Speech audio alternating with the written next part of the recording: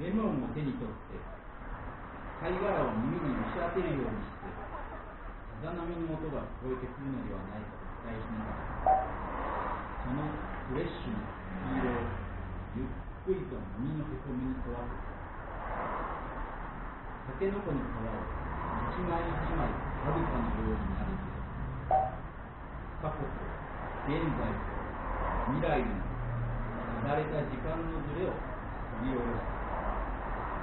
言葉のしぶきを上げて飛び散るの空っぽの中に耳に染み当たる酸っぱい穴がピカッと音を立てて私を切り落としては宙を舞う衛星軌道は3つの楕円の Wi-Fi の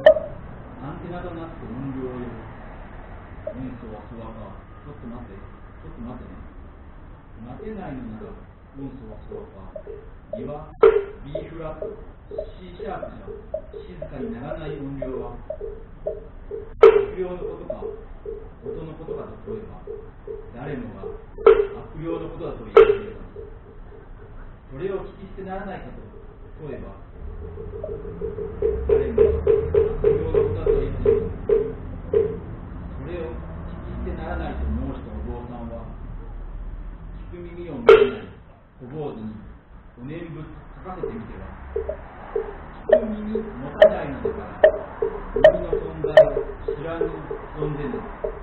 見知らぬ仏とあったのにとありまして自分がわかる分だけ書き上げた数百年ほど前のあるよりこの頃法一は阿弥陀寺という場所に候をしていて日がな琵琶をかき鳴らし住職の心を慰めておりましたある夜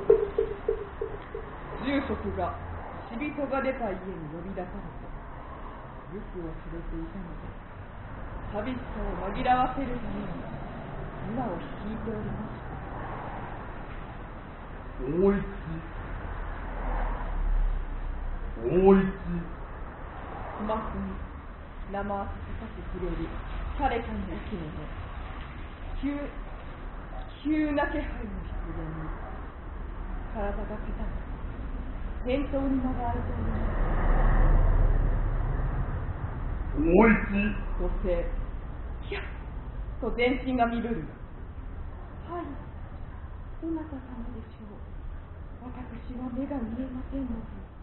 どなた様がい。らっしゃるのか恐れるな。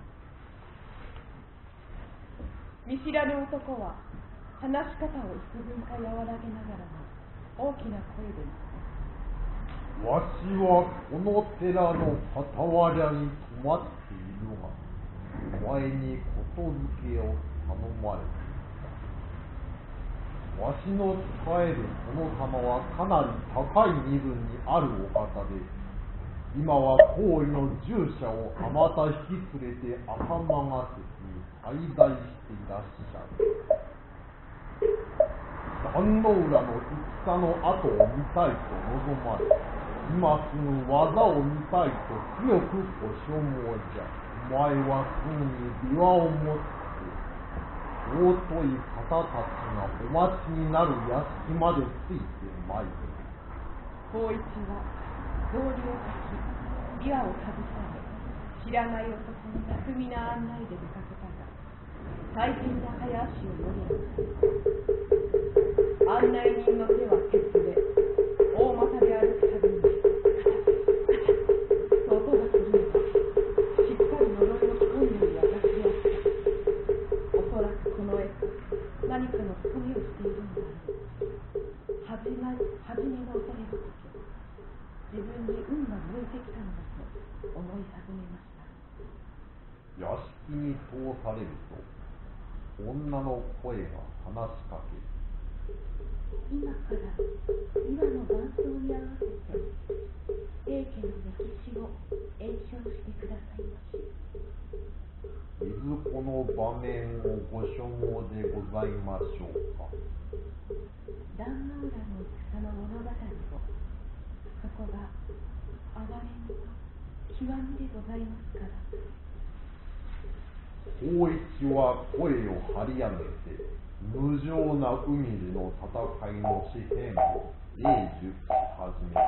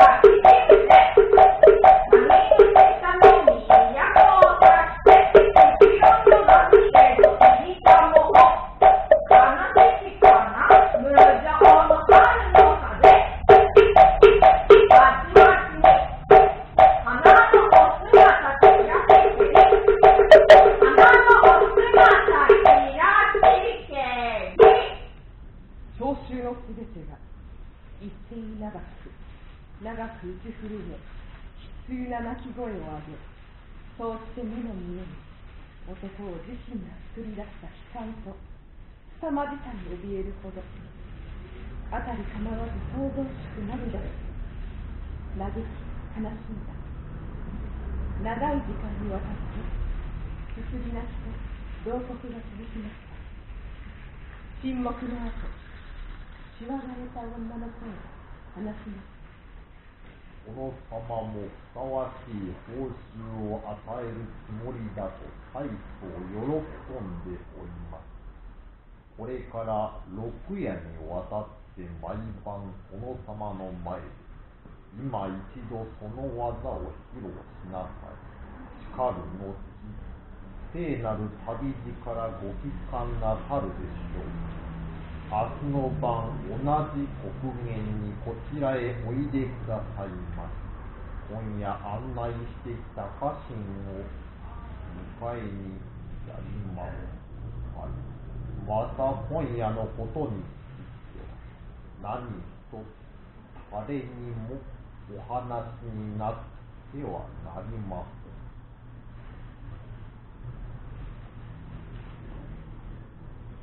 猫の耳というのは誠におかしなものであ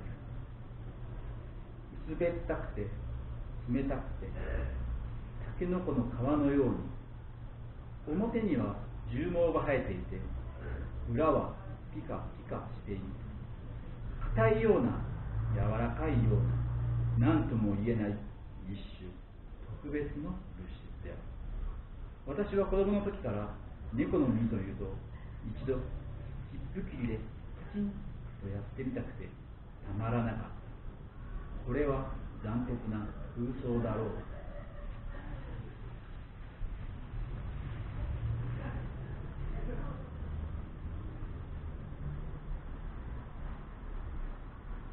今全く猫の耳と持っている。一種不思議な視力に私は家へ来たある人間な客が膝へ上がってきた。子猫の耳を話をしながらしきりにひねっていた光景を忘れることができない。このような疑惑は思いのほかに執念深いもの。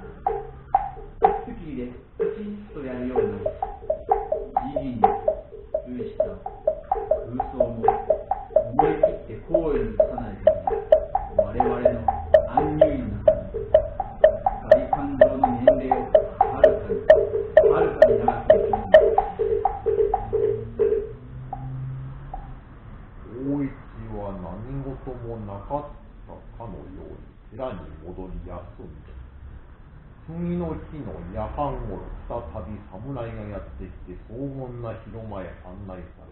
そこで昨日とは異なる英事を行ったがその効果は同様に素晴らしいものである。しかしこの度の滞在によって寺を開けたことはまたまた知られてしまい朝帰った後に住職の前に呼び出され優しくたしなめられた。私たちはあなたのことをとても心配しています。その下目の見えないあなたが一人で夜遅い時刻に出歩くのは危険なのです。どうして黙って出かけたのですか。使用人をつけるよう言いつけられたのですね。一体どこへ行っていたのですか。はぐらかすように法一は答えたお許しください。ちょっとした個人的な仕事の付き合いで他のどんな国言にも変更することはできなかったの住職はどこか不自然さを感じ何かよからぬことでもあるのだろうかと怪しんだ。それ以上尋ねるのを控え日が暮れればまた寺を出るだろうかその時は後をつけて法一の動きを見張るようにと内密に寺の使用人の男たちへ言い渡した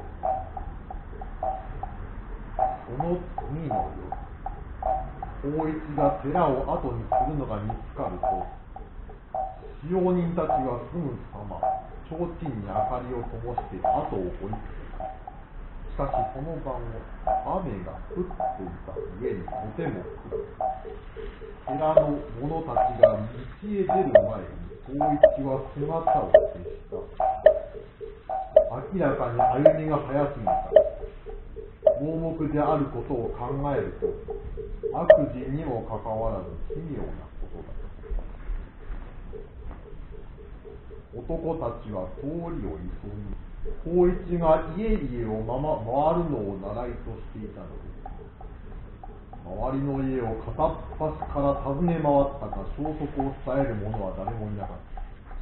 諦めて海辺の道を通して寺へ帰ろうとした時驚いたことに網立ちの墓地からビワに荒々しい音その方角は出血の闇い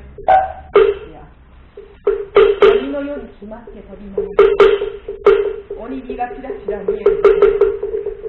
しかし直ちに墓地へ駆けつける。そこで提灯の明かりを照ら雨の中ただ一人安徳天皇の遺伝子の前に座り琵琶の音を振りかけランダンダの学生たちの左を大声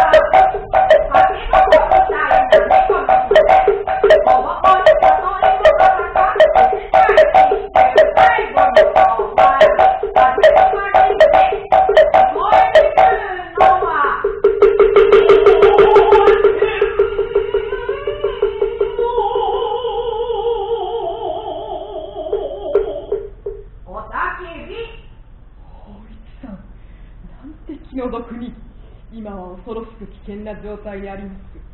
あなたは屋敷か何かを訪れていたのでも何でもなく墓場の平家の墓石に囲まれて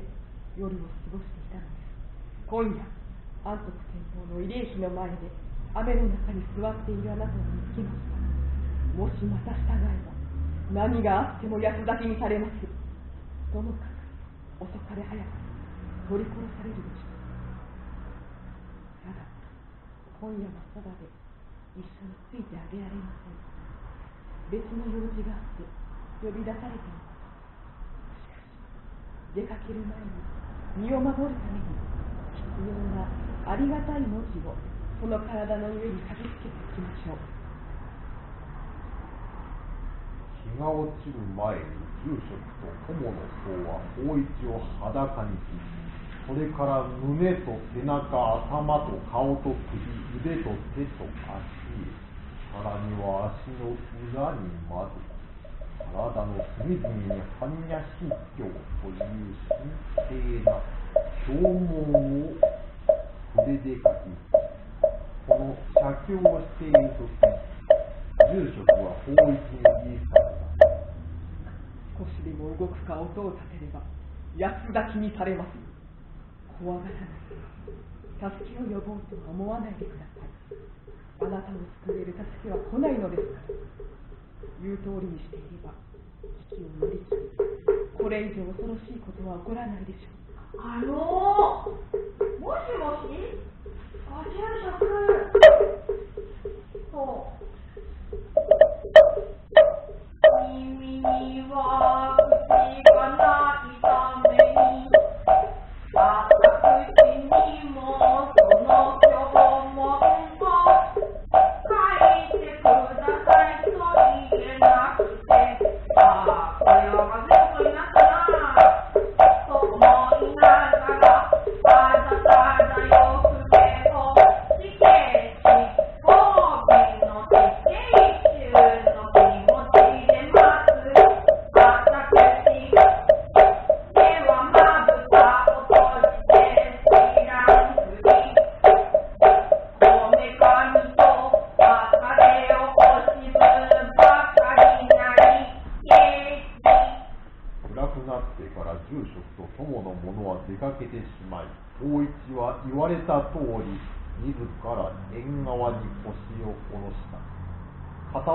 板張りの上に琵琶を置いて座禅の姿勢をとり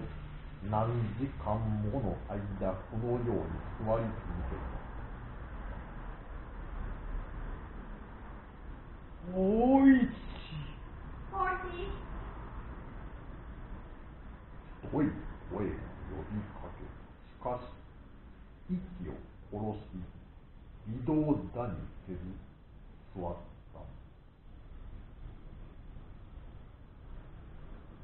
大一父ちゃん二度目は厳しい。口調で呼びかけおーい。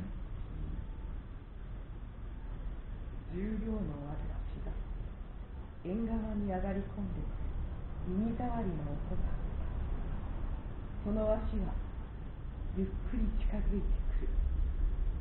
そして傍らで止まったそれから長い間法一は心臓の鼓動が全身を震わせるのを感じながら不気味沈黙があったやがて間近にしわがれた。つぶやき声が今はここにあるが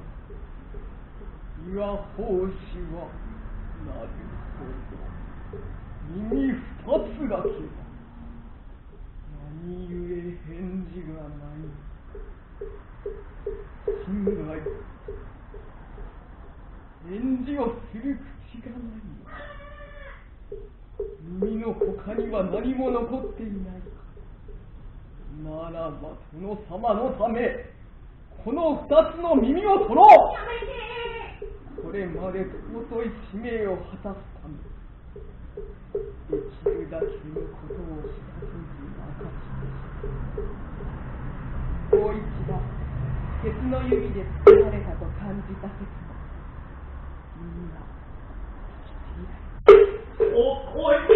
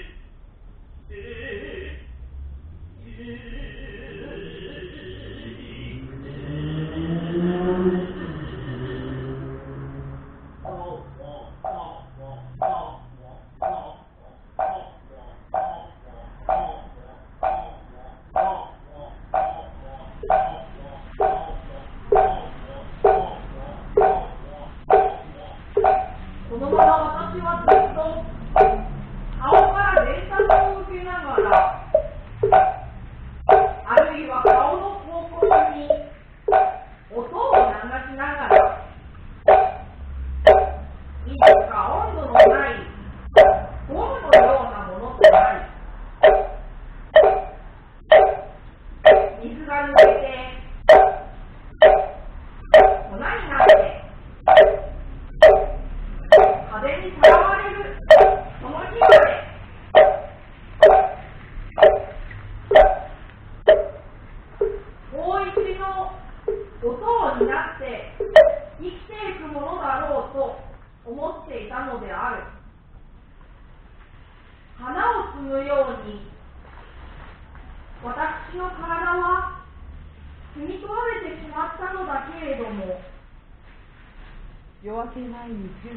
帰ってきた。直ちに裏の縁側へ急行すると何か湿ったものを踏んで滑り恐ろしさに泣き声を上げた。提灯の明かり越しに見える湿ったものが血であったからだ。そこで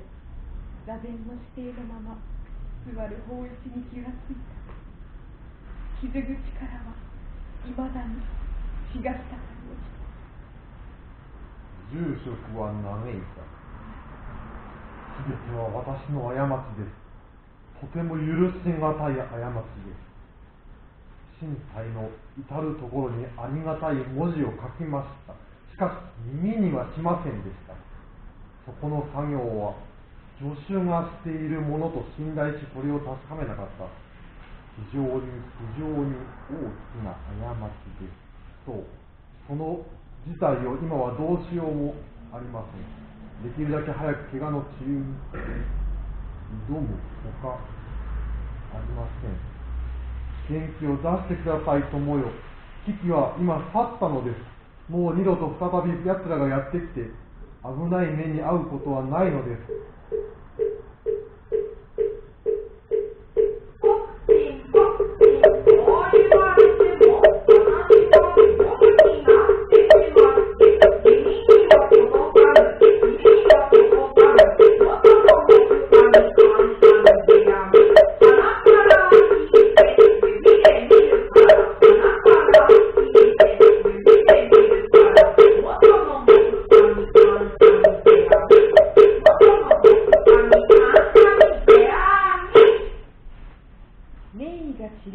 ったため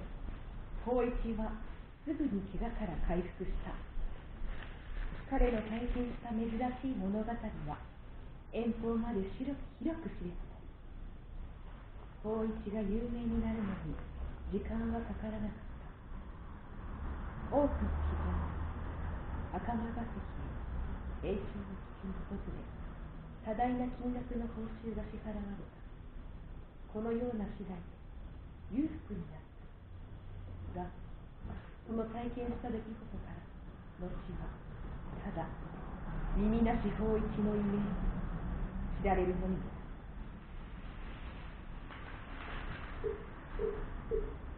私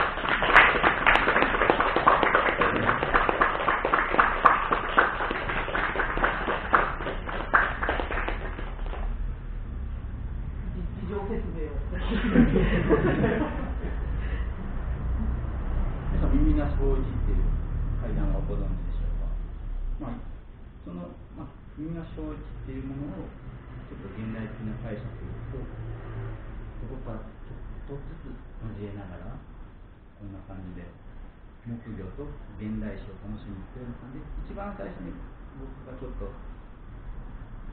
過去と現代と未来とどっかどっかでつながっていくような感じでやってその後にこう野さんが書かれた曲が前だ感じではいこうしながら僕がその周りをちょうどあそこに文字があれは全部ひらがなを切り抜いて書かれられたものなんですけどそれをみんな小一のその辞書をここに書くようなものに照らし合わせてその音量がこの周りを回っていくというような形になっています。ポエティック、ポクポク、以上でした。どうもありがとうございました。